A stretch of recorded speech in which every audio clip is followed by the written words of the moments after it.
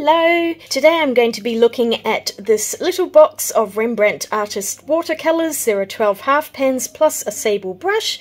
These are by Talens and this is their professional extra fine artist quality range, top of the line. So today I'll be opening the box, we'll swatch all the colours out and I'll do some paintings and hopefully we'll have a good time. So let's get into it! So I bought this box of paints a few months ago when I was in Greece, in Corfu to be precise, and it was the only box there on display. It looks pretty old. This is how it looked in the shop itself, and I think they had it on a discounted price because it was much cheaper than anything else I've ever seen by Rembrandt. So I don't know if you could still actually get this particular box. It may well be discontinued, but I'm pretty sure the paints inside are exactly the same. And if I can find the wooden box, I will link it in the description below. Otherwise, I will link maybe the newer versions down somewhere so you can check them out for yourself. It's a, a standard 12 half pan set, I think. But let's get it open and check it out. Isn't that just a beautiful box? It's so lovely. Every time I start a video, one of these guys has to appear around my desk, and today is no exception. Ah, oh, mate, I'm gonna have to move you. I cannot do my work while you're on my desk. Alright, so he has been escorted off the premises for now. so this is the wooden box that it comes in, and it's got a slider here with a little ball bearing that clicks back into place when you put the thing back in, but that comes out entirely. And I have no idea what the wood is actually made of because it says nothing on the box. It just says a wooden box. But this is what the set looks like. And they're all wrapped in their little papers, so I'm going to have to undo those. And here is the little number four sable brush. And if I flip it up the correct way, pure red sable. It's just a little travel brush. Here we go. There's of course one stray here I think, but hopefully when I put this into water that will fix itself up. Now I shall take a look at one of these little paints if I can get it out, because now I'm looking at it a bit closer. They do have little metal clips to hold them in. That's really great because I thought these were going to start shuffling around in this box once I took them out of the paper. The only not so great thing is it's really hard to get these out. Oh my gosh, I'm going to be here a little while I think. Okay, I've worked it out. Hooray! The whole thing comes out. That's it. So it's actually on a metal tray and then the wooden boxes like that so it sits in there. That's pretty good actually, I like that design, but I hope it's going to sit in nicely again when I actually get it back in. That side does not want to come out. I finally got it. It took me ages. I had to sort of push these down and then just prise the whole thing out. They are meant to come out, I'm sure of it, because there's no adhesive in that. But that's such a beautifully made box. I really love this. I'm so glad I found it. I think the newer ones come in black boxes, and I don't know if they're quite the same design as this. Rembrandt watercolour. I'm guessing that's the light fast rating, but they all seem to have three stars, and I don't know if that means they're all light fast. the permanent green, I guess, it's a series 2. Look, there it is in English. and do we have any other information? Not much. I'm not seeing pigment numbers anywhere. I found the pigment numbers. They are indeed on here. Well, kind of, because right at the bottom, can you see it's kind of smudged off? So I might have to still look these up. Hopefully some of the others will be easier to read. There we go. I've popped them all out and I labelled them on the side just using a little Sharpie pen so I remember which colours are which. It's very much a traditional colour set, which I like because I don't have a lot of those lately there is a split primary set on the top here, so there's two yellows, two reds, and two blues in warm and cool shades. And then down the bottom are a couple of greens. There's three browns here and a Payne's grey. I'm always so excited to have one of those in a set. They're sitting in here nicely too. There is a little bit of rattling. And if I tip them upside down, they will come out. but just don't tip it upside down, I guess. This one's sitting in a little bit better than this top one. Here's the swatch chart that I drew up, and once I'd wet my brush, it had tapered into a fine point with all the hairs going in the same direction. I started by wetting the paper, and now we'll see how these paints activate in water.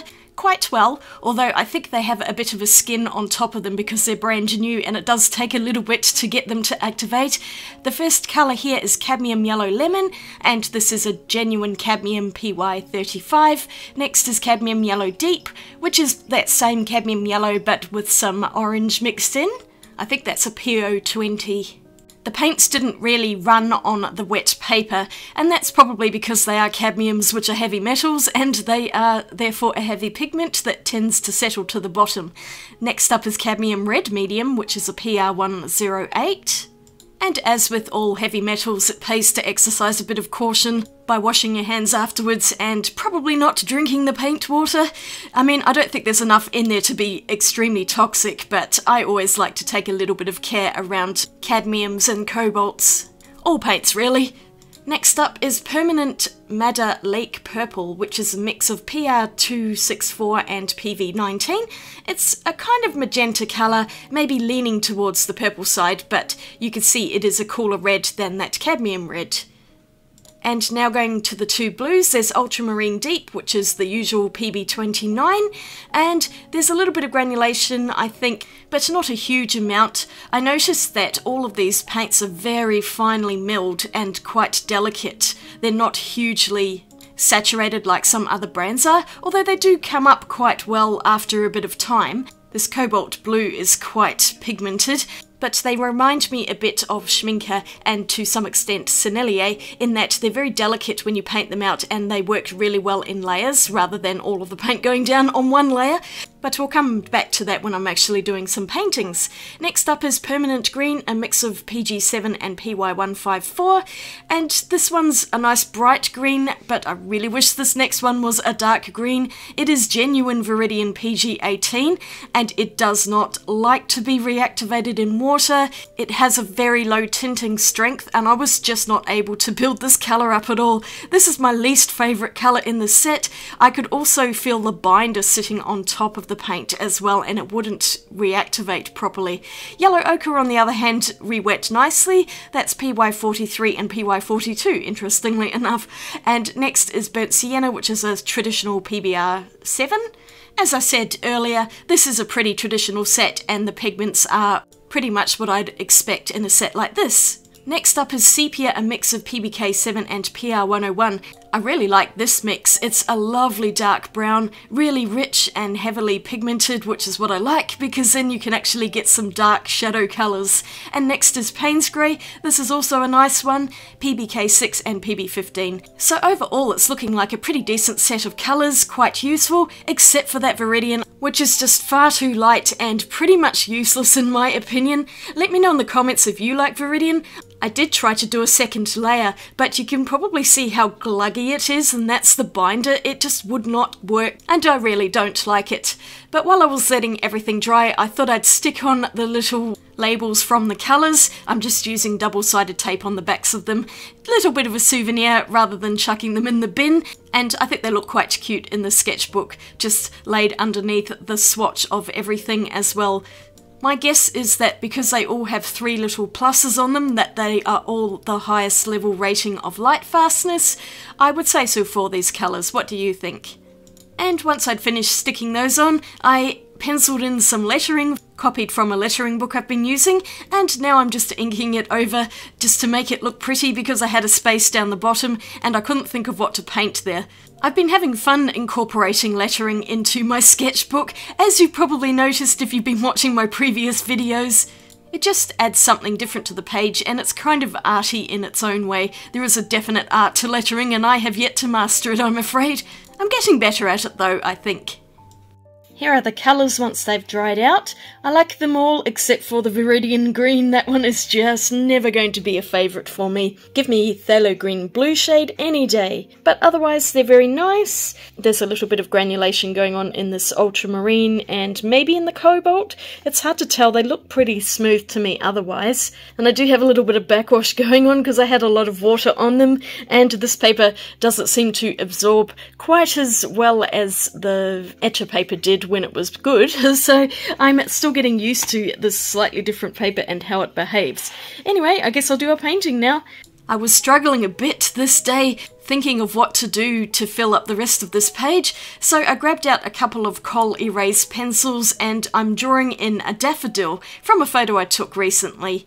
Daffodils are surprisingly difficult to draw, and I don't think that mine turned out quite as well as the photograph, but it's not too bad, I suppose. But anyway, I'm using that cadmium yellow lemon to paint in the majority of the petals on the daffodil, and then I'll use some of the cadmium yellow deep to paint in the shadow areas where the petals are overlapping. I was mixing my paints on a small ceramic dish because of course there's no mixing area in the box itself which is maybe its biggest limitation, but I'm not too bothered because it's not that difficult to get a separate dish out. As I mentioned during the swatching, these paints were very delicate when painting them out, and I did need to go over them with layers just to get a deeper colour. The biggest issue I had was struggling to get a really dark green, and I was trying to mix in the permanent green with Payne's grey. It worked a little bit, but not as well as I would have liked. I'm just hopeless at mixing a dark green for some reason. Even if I try mixing blues and yellows, it just never quite works. It's the same issue that I've had in other videos reviewing different sets. If there's not a dark green, I really struggle. I like to have a convenience dark green on a palette. That Viridian just needs to go and I would happily replace that with a dark green, which I probably will do. Now I'm painting in a background and here's the other observation that I'm going to make about the new sketchbook I'm using. It's a Hannah Hahnemuhle 100% cotton sketchbook and the paper does not really like a lot of water. You can see how the paint has cauliflowered on the little swatches, in particular Payne's Grey Sepia and Permanent Madder. This is where I'd added quite a lot of water and it really doesn't blend into the paper as nicely as I would expect for a cotton. So that's kind of annoying. I've got a whole sketchbook. I'm just going to have to change my behavior when it comes to painting backgrounds. I mean, the paint still disperses out into it, it's just that it doesn't like a lot of water. It will start to cauliflower, so that's something to bear in mind. I know a couple of other people have mentioned this to me with their experiences too, and I'm most definitely having the same issue. I've got a new learning curve here because it's behaving so completely differently to the Etchr paper, which was a lot more forgiving when it came to really wet washes. I was trying to deepen the background to make it contrast with the bright flower, and it wasn't working super well. So very briefly, you'll see my Sennelier palette with the forest green, which is a really dark green in the set, and I did use a little bit because it was just driving me nuts. Sennelier's Forest Green is one of my absolute favourite dark greens, and I figured I'd just incorporate a little bit, regardless of whether that's considered cheating because it's outside of the Rembrandt set. Whatever, I do whatever it takes to get the job done. So I'm going over the background again once it had fully dried to get some deeper blues going on there. And you can probably see up the top where there's a bit too much water how it is starting to do a little bit of cauliflowering in that background. Annoying! But once I'd let it all dry, I felt like it needed some white on there, so I'm going for some bleed proof white. I had to try a white pen, but it just wasn't white enough for what I needed, and this bleed proof white ink is always really great. I wasn't super happy with the painting in that it felt very flat, and so just adding some white dots everywhere just really lifted it, and I felt a lot better about the picture. I've tried painting daffodils a few times and I'm still not very good at it, but here's the finished page. I thought I would do a whole page spread, so I'm actually going to do a second picture, and I'd seen this photo of a cute dog, and I thought this could be fun to paint using that lovely sepia brown colour. I'm just using a cheap old graphite pencil here to draw it out because I wasn't in the mood to use coloured pencils or anything and I felt like I had rushed the daffodil a bit, which is why I wasn't happy with it, so I did take my time with this particular drawing to make it a bit more detailed and to get the proportions as correct as I could. I think the mouth and chin area gave me the most grief, but I got there eventually after a few goes. And I think the drawing actually turned out pretty well. I think I mentioned recently that I've been feeling a little bit off my game when it comes to painting, like things haven't been turning out as nicely as I would like them to, so I think it's just a matter of going back to basics and really focusing on drawing again and getting proportions right and then going back into the painting. That's what I really tried to do with this particular painting and I'm using the earthy colours in the Rembrandt set in particular the sepia, yellow ochre, and I think a small amount of burnt sienna as well. I think this paper responds a lot better to more precise paintings like this rather than heavy water washes. It just doesn't seem to like those, so I think I'll have to just try and do more paintings like this, which are more detailed using a smaller brush, and I was using the brush that came in the Rembrandt set. It was actually very nice. I do like a red sable, and it held quite a lot of paint even though it's a relatively small brush. The plastic handle is a bit flimsy though. I would prefer it if it was metal, or at least wood. That would be nice too. But I made do with this one. I also used a couple of larger brushes in a few places. I quite enjoyed using the Rembrandt paints and I really do love that wooden box that they come in. It's such a pretty little set. The paints themselves are definitely professional quality. They're very finely milled and these earth colours were particularly lovely in the set. I think this would be useful for travelling and plein air painting. The only one that I would change out is that Viridian. If you like Viridian, that's totally fine. I am just not a fan. I never have been. It's just too light for my liking. I like to have a nice deep paint that I can water down and make dilute if I want to but it's impossible to make a low tinting strength paint become more saturated. So if anything, I'd swap it out maybe for Phthalo Green Blue shade, or I'd just go for that dark green. I think there's a Hooker's Green or something in the Rembrandt set. Maybe I'll take a look at that and see if I can find a pan. I did a very light background for this particular painting because I decided I didn't want it to be brown like it was in the photo. I thought it would take away from the dog too much. So I've just left it very subtle and it's really just a mix of the leftover paints that were on the palette, the palette mud so to speak. I spent some more time going over the whole dog picture, just putting in some details in the fur and also some more shadows. I think taking my time on this painting really paid off and I'm very happy with the results. This feels like the most accurate drawing that I've done for a while and I would like to do some more practice because that always just makes me feel a lot better and I'm able to get better artworks in the end. I need to tell myself to stop rushing because I have a tendency to do that when I'm filming videos. But here's the finished painting. I'm super happy with this one. I think he looks really cute. So here we go, here's what I got done today. I don't actually mind how this page turned out in the end. I like the watercolours. I'm glad I put the little sticky things on. And the daffodil is looking a bit better now. I've added some white in there just to make it stand out a bit. It's not the best thing in the world, but the colours have actually come out really well. I'm glad I added the Sennelier forest green though. This set is just missing that dark green. It is the one downfall of it, if I was to change anything, I'm going to probably take out that Viridian because it's pretty much useless. I like how the dog came out, and you can see it's just got a very, very subtle background going on there and I kind of want something up in this corner, but I don't know what, so I think I'm going to leave it for now and maybe come back to this at some point. I just figured that it's probably best to leave it simple today, and to that sepia is probably my favourite in the set. It's a really lovely chocolatey brown, it's wonderfully deep. So at least some colours are deep, it's just that Viridian lets the set down for sure. The brush is pretty good. It's tapered to a nice point now that it's wet and all of the hairs are going in the same direction now. It did fall out into the water dish once when I was using it, which is kind of annoying. This bit came off from here and I had to fish around for it. But otherwise, the brush seems to be pretty good and I have no complaints with that.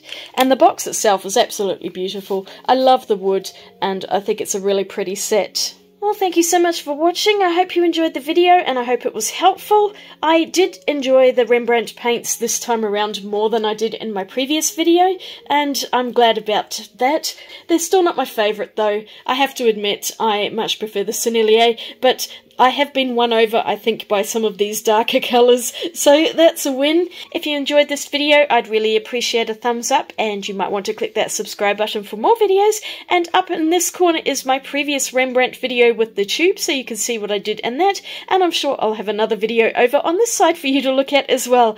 I hope you're having a great day, and I'll see you all again really soon in my next video. Swatch you later. Bye!